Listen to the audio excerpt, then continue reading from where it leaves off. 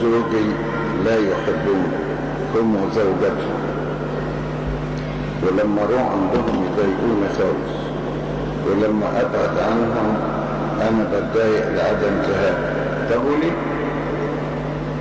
اللي مش عايزين يشوفوك ابتعدي عنهم لكن تتابي نفسك وتروح وتتضايقي ملهاش لازمة الحاجات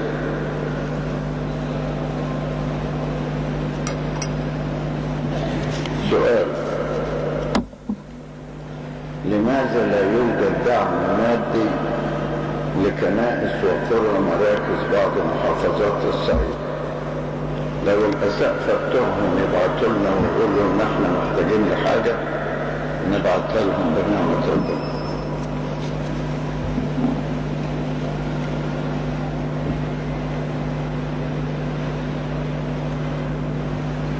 واحد بيقول إلى أي مدى وصل الحوار بين الكنيسة القبطية الأرثوذكسية والكنيسة الكاثوليكية؟ ماشيين في السكة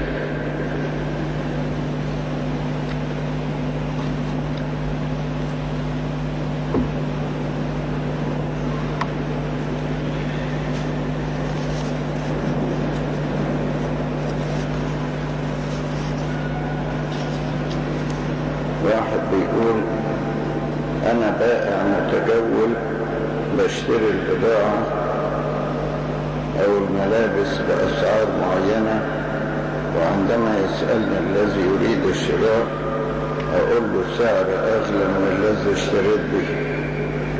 فهل هذا يليق ولا يعتبر كده طبعا يعتبر كده أنت تقول له السعر اللي أنت عايزه بدل ما تقول له أنا اشتريت بكام؟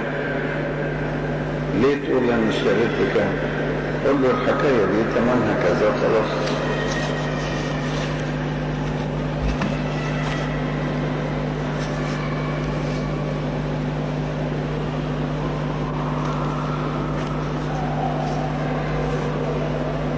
آه، من جهة حفلة الرهبنة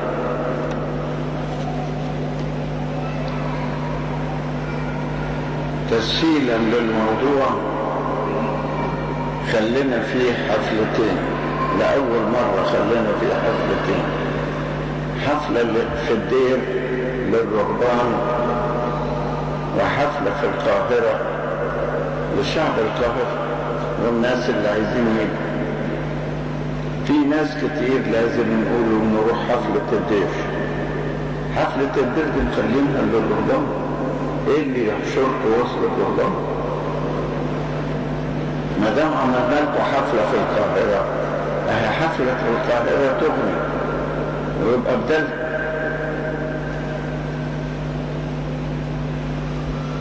الاستثناء البسيط اللي عملناه في حفلة الدير إن الناس من المجلس الملي سواء من القاهرة أو من الإسكندرية وبعض أشخاص من الاسكندرية علشان أقرب ليهم بدل ما يروحوا رحلة طويلة للقاهرة.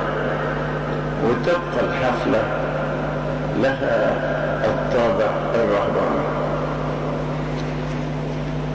فأرجو بلاش الإلحاح على تذاكر الدير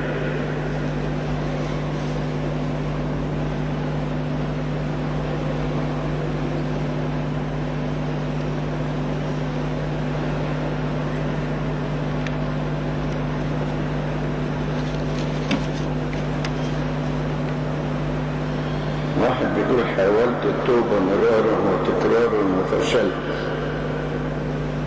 أم أ- فشلت أن أجمع بين العالم وربنا. فهل الرهبنة وترك العالم هو الحل؟ لا يا حبيبي. ده انت لو رحت الرهبنة هتاخد العالم في قلبك وتخش بيه جوه الدير. وتبقى موجود جوه الدير وأفكار العالم في قلبك وفكرك. لازم تنتصر ولازم تتوب. وإن ما عرفتش تتوب ربنا ليك طرق معينة يخليك تتوب غصب عنك. فاهم يعني إيه؟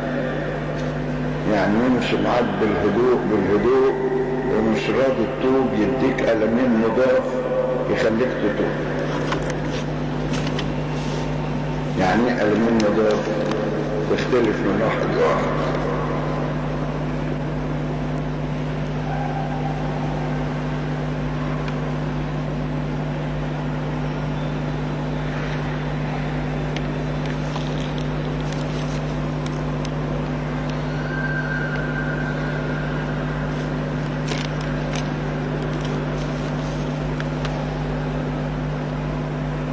سؤال.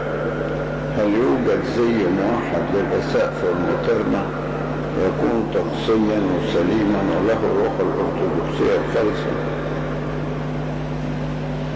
نرى الآن البعض يرتدي صليب كامل من الفضة أو ما يشبه الأيقونة من الذهب الخالص أو البعض يرتدي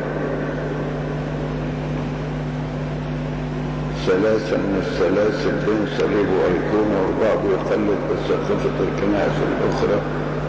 ويمسك بعصر رعاية مختلفة عن غيره. أين روح الأرثوذكسية التي زكى آبائنا بدمائهم له هي أنت مالك أنت بالأساس في ناس عندهم روح النقد لازم يدوروا على حد ينتقدوه. لازم. دي مرض. فأحيانا ينتقدوا السيدات اللي داخلين الكنيسة في شكلهم أو في ملابسهم. وأحيانا ينتقدوا الخدمة جوه الكنيسة سواء الأب الكاهن أو الخدام لكن الأخ ده من مستوى أرقى من كده إنه لازم ينتقد المطرن والأسقف أنت مالك يا ابني؟ ما تخليك في لبسه صليب لبسه أيقونة دي لها تأثير على خلاص نفسك.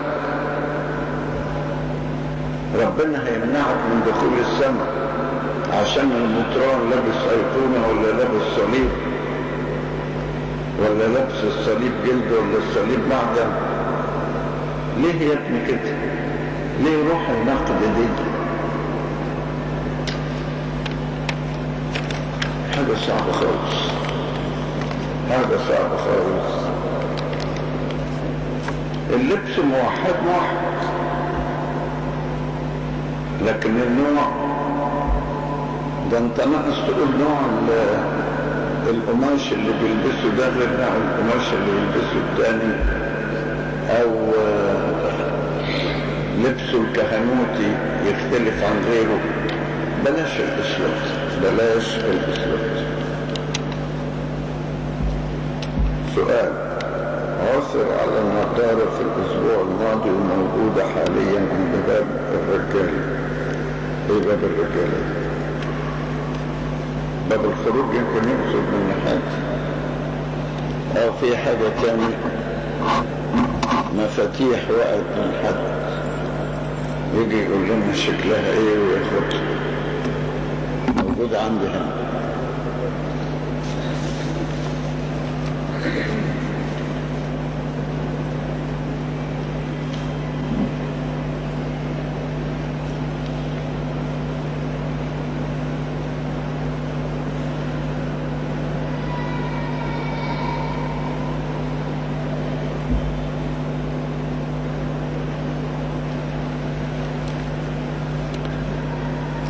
واحد بيقول لماذا نرى ان كل البدع والهرطقات وانقسام الكنيسة يكون بسبب راهب أو كاهن أو أسقف أو حتى بطريرك. والشعب مثل الخراف الأمثلة مثل أريوس وأوتاس ومسطور ونرى البابا ديسبوروس والبابا أثناسوس الرسول بيتعذب منهم سنوات طويلة في نفي والتعذيب واضطهاد إلى آخره. السبب هو أن هذه الرتب بتكون في مجال التعليم واللي بيعلم العقيدة واللاهوت ممكن يقع في بدعة. بقية الشعب العاديين ليسوا في منصب التعليم. ولذلك الكتاب بيقول لا تكونوا معلمين كثيرين يا إخوتي لأننا في أشياء كثيرة نعثر جميعا.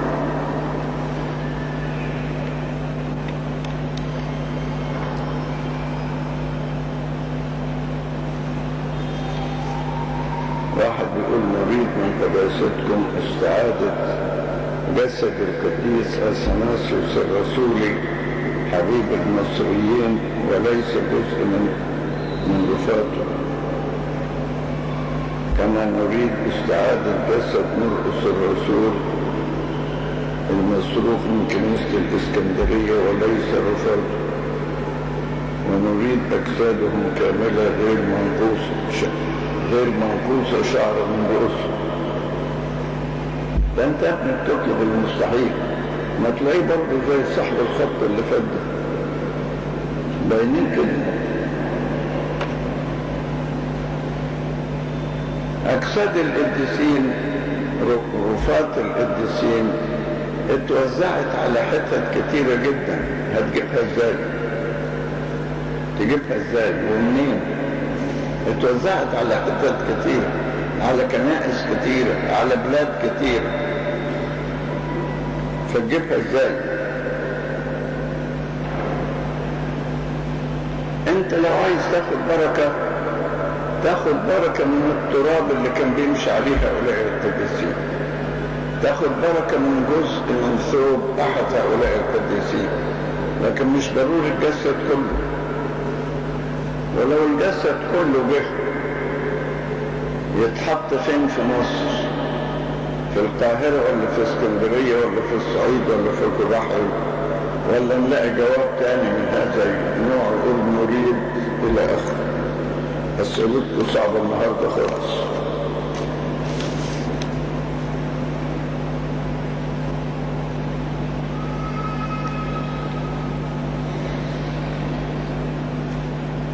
واحدة بتقول أنا فتاة عمري 18 سنة. مشكلتي إني بحب شاب من سبع سنوات. يعني من ساعة ما كان عمرها 13 سنة. لا سبعة. يبقى عمرها 11 سنة. اتولدت بتحب كده.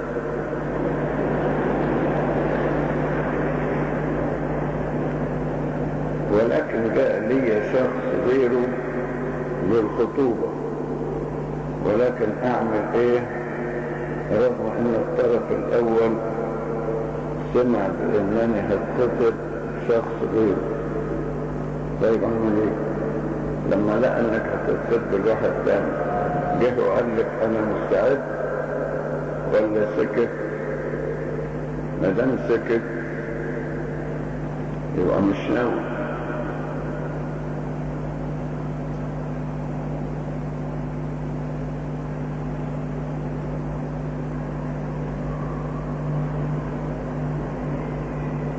والطرف الأول لم بالخطوبة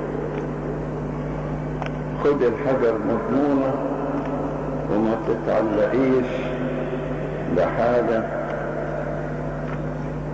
يعني ما تضمنهاش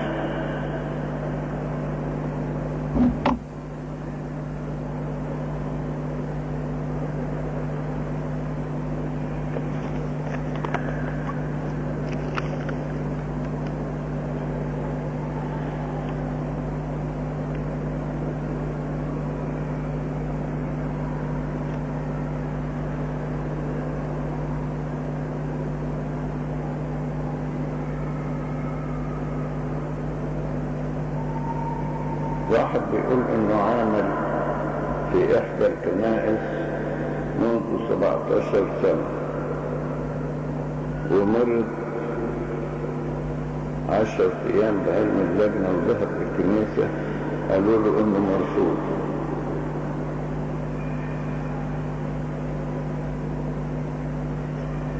نفحص حالته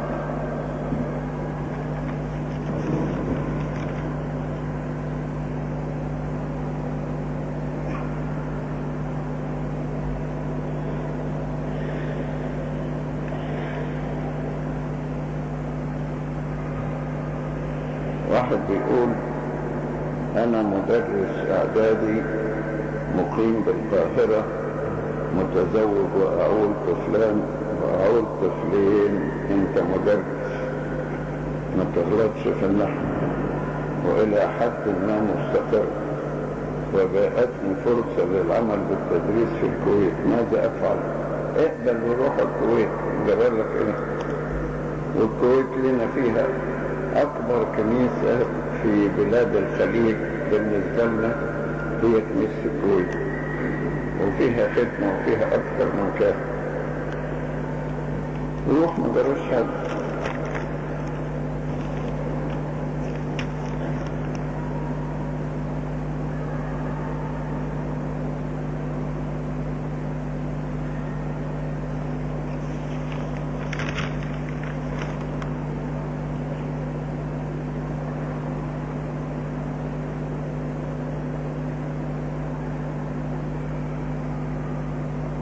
والدتي تبلغ من العمر خمسة ما يقرب من خمسة وسبعين عام.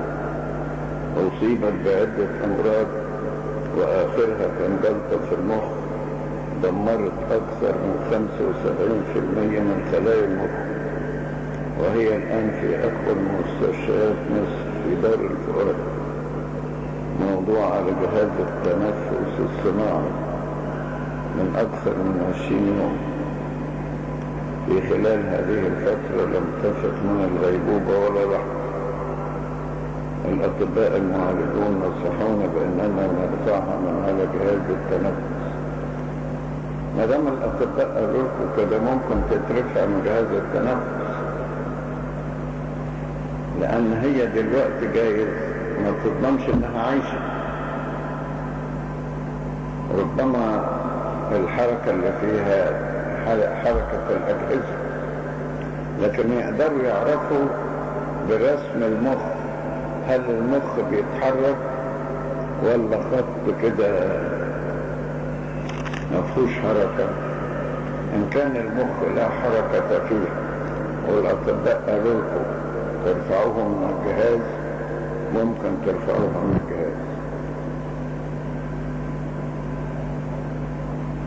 هل إذا وافقنا على نقلها من الجهاز يكون قتل لأمنا؟ لا يا حبيبي يكون إنكم عرفتوا إنها ميتة من زمان مش من دلوقتي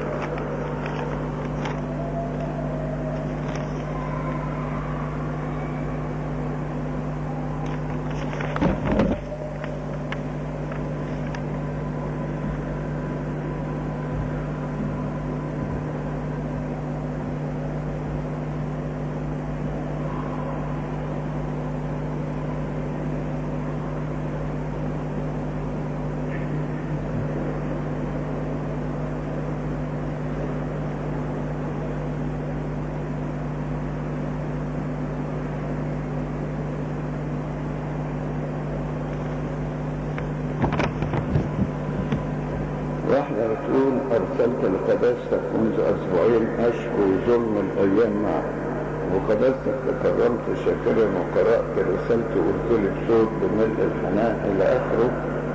ربنا يكون معاكي إلى آخره. كان ذلك يوم الأربعاء وفي يوم السبت اللي بعديه. تعرفت على طبيب بمحض الصدفة وكنت متناولة وحضر قداس ذلك اليوم. والسؤال هو هذا الطبيب إمكانياته غير جيدة فهو بسيط جدا وأنا خايف أتعب معاه ولا أعرف هل سأفرح أم لا. ربنا يكون معاك ويختار لك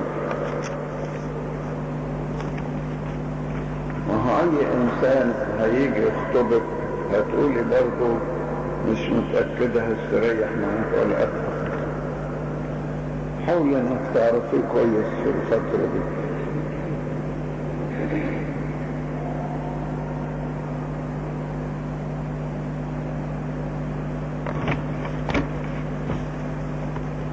واحد بيعمل لي اختبار شخصي.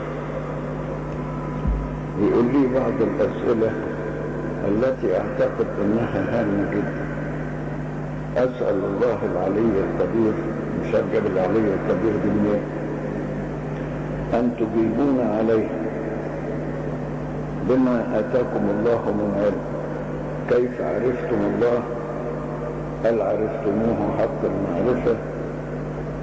كيف كانت سبل تلك المعرفة؟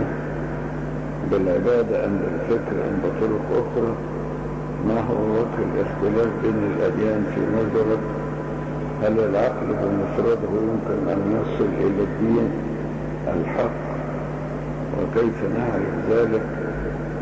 لماذا تمتاز المسيحية عن الأديان الأخرى؟ وما هو وجه الاعتقاد بأن المسيحية دين الحق؟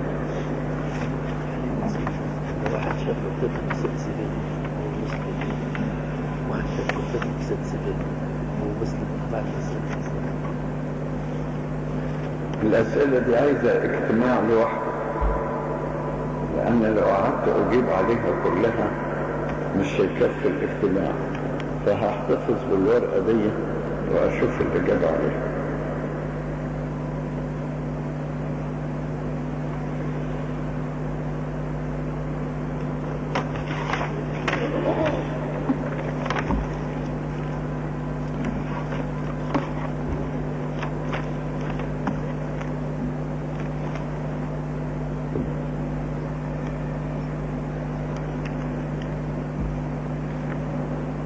نكتشف كده مش صادق تسلم عليه مش صادق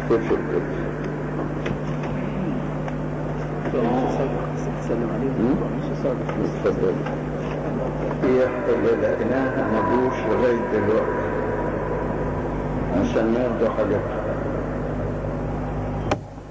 هسيبها في السكرتارية تبقى تشوفها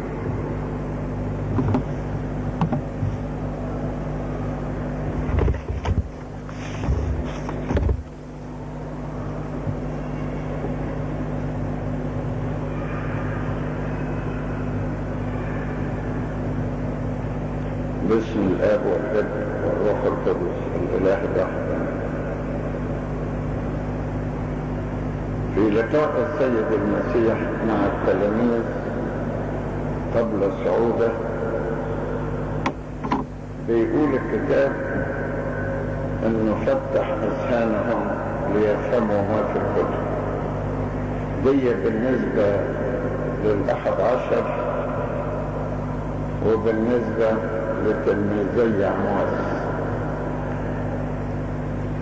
فتح ذهنهم عشان يفهموا ما كتب عنه في العهد القديم من جهة المزامير ومن جهة النبوات ومن جهة الرموز.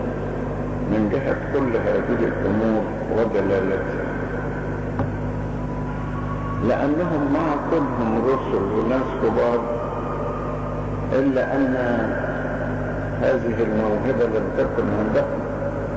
ما كانوش يعرفوا إيه أسرار الكتب دي يمكن درس في الاتباع يعطى لينا إن أي واحد يقرأ كلمتين يفتكر إنه بقى من العلماء ويطلع عقائد ويطلع أفكار. الرسل حتى هذه اللحظة ما كانوش فاهمين ما ورد في الكتب. ففتح الرب أجسامهم لكي يفهموا نفس الوضع حدث مع الخصي الحبشي. كان راكب في مركبته وبيقرأ سفر أشعياء وما كانش فاهم إيه الكلام اللي فيه. وبعدين الروح القدس قال لفيلبس اذهب ورافق هذه المركبة. فسأله قال له أنت فاهم اللي بتقرأه؟ قال له إزاي أفهم وما فيش حد يرشدني؟ اذا كثير من الناس بيقروا الكتاب وهم مش فاهمين. مهما كان مستواهم عالي. عشان كده إحنا بنصلي في المزمور ونقول افتح يا رب عيني لأرى عجائب من شريعتك. وعشان كده الإنسان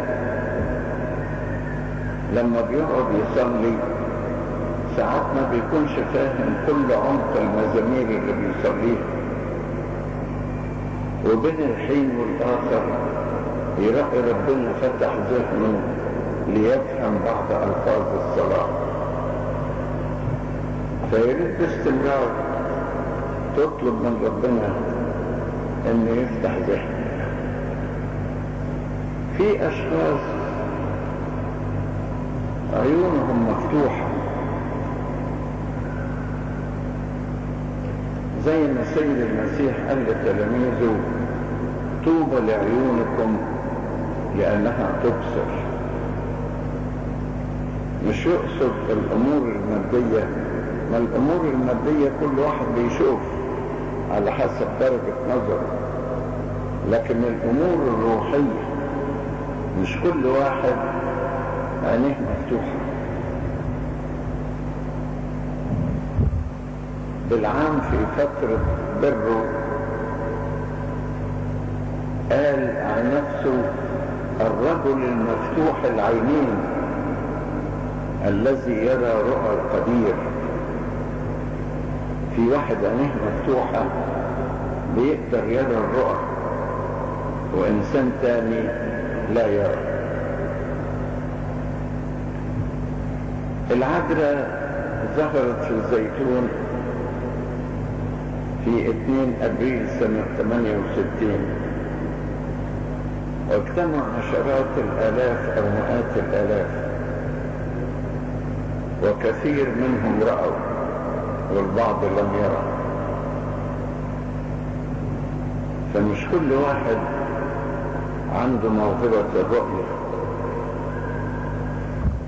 أو عنده الاتضاع الذي يرى به. لأن في إنسان لما يرى رؤية قلبه يكبر فربنا يرى من الخطر من الخطر على هذا الإنسان إنه يشوف الرؤية لأنه مش قدها ولذلك إسحاق قال إذا ربنا إداك موهبة اطلب منه أن يديك اتضاع عشان تحتمل الموهبة. وإلا أطلب منه بلاش الموهبة دي أطلب منه أن يديك اتضاع علشان الموهبة ما تضيعكش إليشع كان موجود في مرة والجنود هاجمين على المدينة وكان تلميذه جحزي موجود معاه وخايف. لكن إليشع كان بيرى ملائكة محيطة بالمدينة تدافع. إليشع تلميذه وما كانش شايف. فإليشع صلى وقال افتح يا رب عيني الغلام ليرى إن الذين معنا أكثر من الذين علينا. أحيانا نكون في ضيقة معينة ونبقى تعبانين وقلقانين. ليه؟ لأن ما عندناش العينين التي ترى أن الذين معنا أكثر من الذين علينا. يا ريت يكون عندنا هذه العين التي ترى وتؤمن. وتطمئن بهذه البصيرة الروحية حتى بعض الرسل التي كانت لهم العيون المفتوحة كان الله في بعض أوقات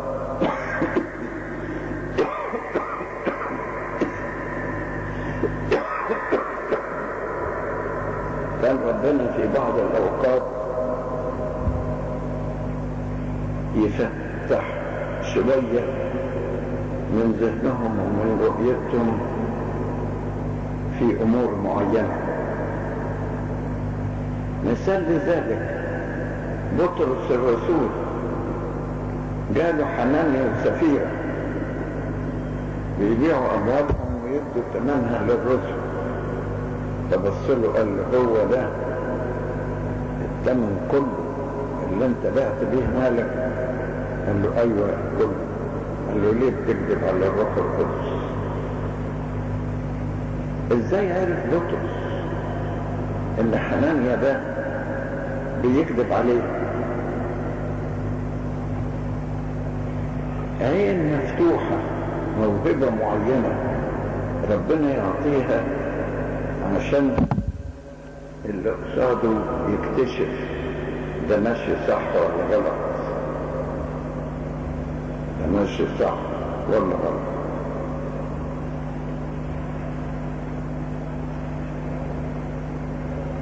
من جهة لما قال في المزمور افتح يا رب عيني لأرى مواهب من شريعتك اكشف عن عيني.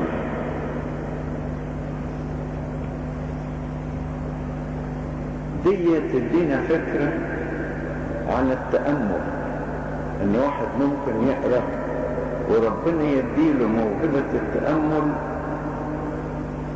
ويكشف عن عينيه ليرى عجائب من الشريعة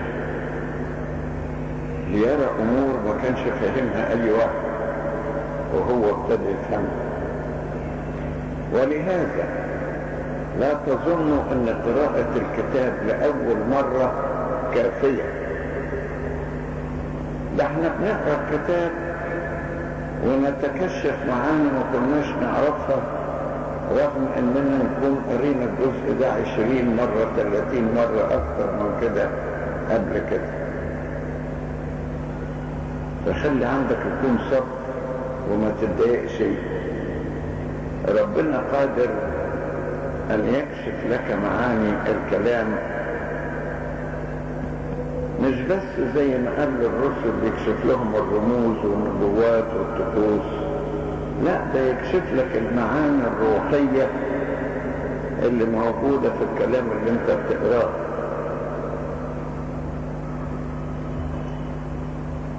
يديك موهبة التأمل. ودي تورينا برضو النعمة اللي ربنا يعطيها للمتكلم وللسامع. يدي المتكلم موهبة إن يكشف له معاني معينة ويدي السامع موهبة إنه يستفيد من الكلام اللي بيسمعه. ما يقول عين مفتوحة فبصيرة روحية مفتوحة للشخص.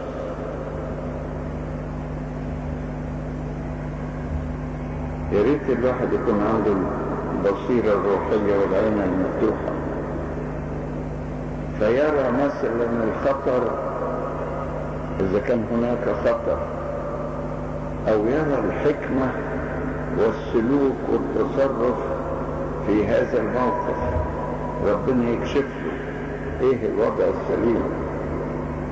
ولهذا كان الإفراز الإفراز والحكمة من المواهب التي تأتي من الله لما يكشف للإنسان ويفتح ذهنه ويفتح قلبه. لهذا نجد أن في تحليل باكر تحريك تحليل صلاة باكر يقول كلمة لطيفة. أنا يا رب عقولنا وأفهامنا وقلوبنا. أنر عقولنا وأفهامنا وقلوبنا. اوعى تفتكر إنك أنت وهبت من الذكاء ومن المعرفة ومن البصيرة ما يمكن أن تكتفي به.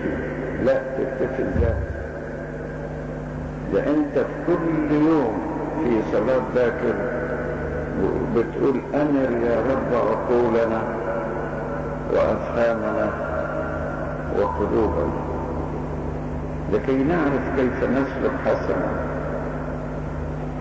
هو من ضمن عيوبنا إن إحنا لا نطلب. بنكتفي بأنفسنا ولا نطلب. وربما أي واحد فيكم بيصلي الصلاة دي في صلاة باكر ما ياخدش باله من عمق معانيها وانه فعلا محتاج أن ربنا ينير عقله وينير قلبه وينير فهمه.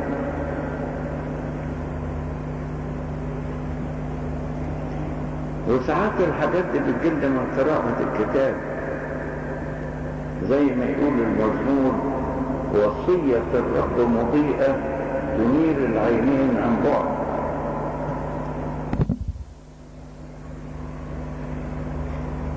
وبهذا الشكل يكون الإنسان إنسان مستنير. مش مستنير بس زي ما بنقول الكلمة دي عن الثقافة العلمانية. نقول إنسان مستنير. لا في استنارة من الروح القدس. نقول فيها أمر يا رب عقولنا وقلوبنا وأفهامنا لنفهم ونقول أيضا فلتشرق فينا الحواس المضيئة والأفكار النورانية ولا تغطينا ظلمة الآلام.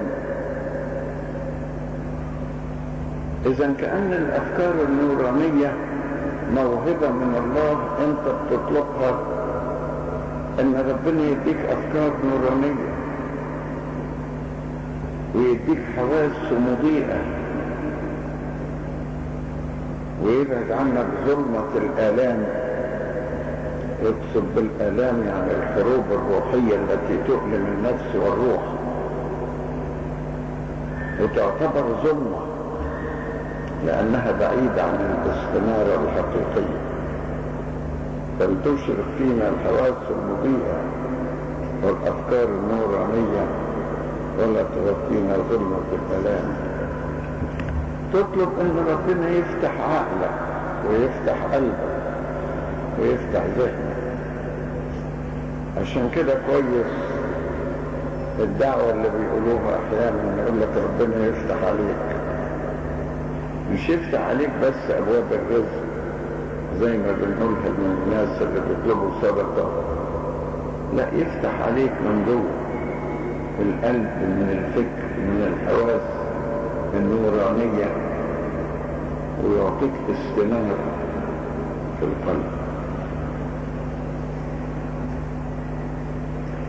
الاستنارة دي لأن إحنا بيطلب مننا الكتاب إن إحنا نكون بني نور وبني نهار وأول عبارة نصليها في التسبيحة كل يوم قوموا يا بني النور لنسبح رب القوات. كيف يمكن إنك أنت تكون من بني النور هو أصلا الله نور نور لا يبنى منه وليست فيه ظلم البتة. وما دام أولاد الله إذا لابد إن إحنا نكون بني النور أولاد النور وهو ده المطلوب مننا في حياتنا الروحية. يقول سيروا ما دام لكم النور لئلا يدرككم الظلام. والذي يسير في الظلام لا يعلم إلى أين يذهب؟ يعني سيروا في النور لئلا يدرككم الظلام العمل الخير لابد يكون في النور. إذا أراد الإنسان أن يعمل عمل شرير يعمله في الظلام متداري محدش شايفه؟ في الخفة؟ يبقى بيشتغل في الظلام. متداري محدش شايفه في الخفة مقفول عليه يبقى ده الظلام. ده الظلام اللي قال عليه الكتاب إن الأشرار احبوا الظلمة أكثر من النور لأن أعمالهم كانت شريرة. فيحبوا يلفوا أعمالهم بالظلام. والظلام أيضا ممكن يقال على الحاجات الخفية في القلب وفي الفكر وفي النية. ان حاجة في الظلام محدش شايف أنت بتفكر في إيه ولا مشاعرك في القلب إيه ولا نياتك إيه وتعتبر في الظلام. أحب الظلم أكثر من النور لأن أعمالهم شرير في ناس يفتكروا إن الظلمة بتسترهم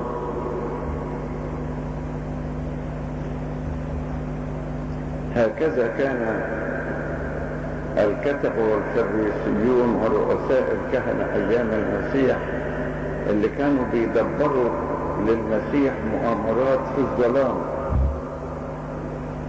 ولذلك لما جم يقبضوا عليه السيد المسيح قال لهم هذه ساعتكم والسلطان الظلام.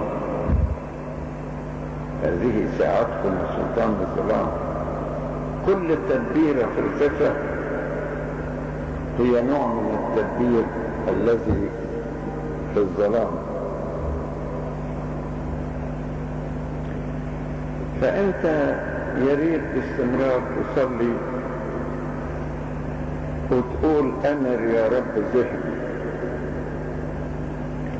أمر ذهني لأفهم أن هذا اليوم اللي أنا فيه ده هو يوم مقدس. سواء كان يوم الأربع لأنه يوم صيام ويعتبر يوم مقدس أو يوم تناول لأن اليوم التناول ده يوم مقدس. أو أي يوم من أيام حياتك ربنا بيعتبره إن لازم يكون يوم مقدس. وعشان كده إحنا بنصلي في صلاة الشكر ونقول امنحنا أن نكمل هذا اليوم المقدس وكل أيام حياتنا بكل سلام ومخافة أنر يا رب ذهني أنر ذهني فتح عقلي.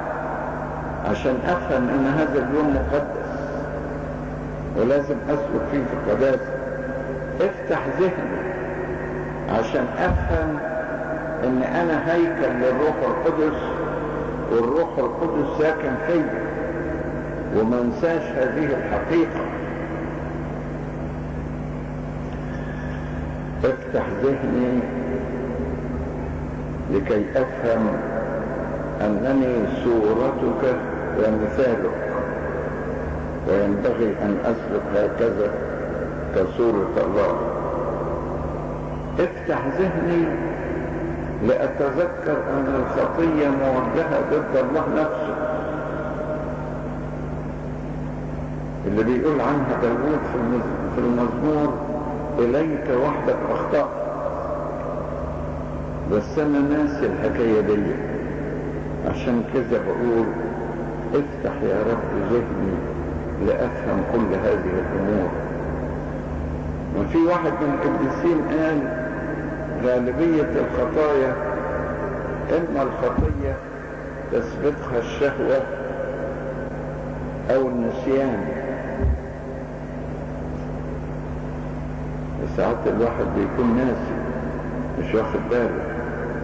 محتاج لواحد يفكره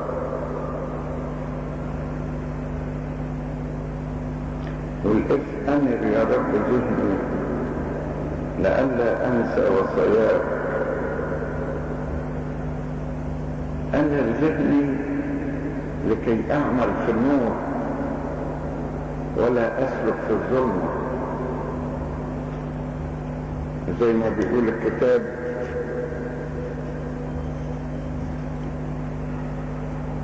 الذي تقولونه في المخادع ينادى به فوق السطوح. مفيش حاجة إن كانت مخفية عن الناس مش هتكون مخفية عن ربنا. زي واحد من الأدباء الروحيين قال كلمة كويسة. قال فكر كما لو كانت أفكارك مكتوبة بحروف من نور على سحاب السماء وإنها لكذلك واضحة ومكشوفة.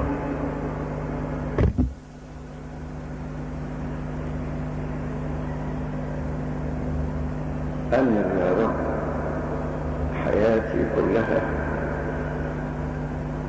لكي أعمل في النور ولكي أعرف وضعي الذي قلت لي عنه أنتم نور العالم فليضئ نوركم هكذا قدام الناس ليروا أعمالكم الحسنة.